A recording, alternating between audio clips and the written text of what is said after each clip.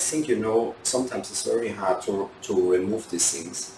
So what I do is I use this uh, spray. It's 50% uh, water and 50% alcohol. You can use any, any industrial alcohol for this. You can also use normal alcohol.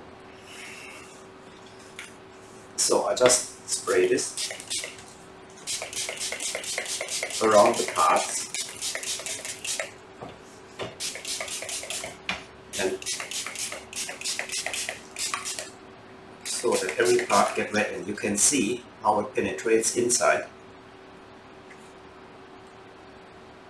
The water go inside.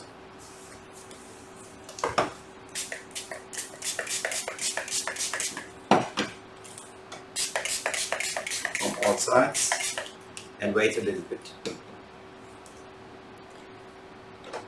It's it's visible how it how it penetrates inside. So now you do like this a little bit, this a little bit. And you see, take it out.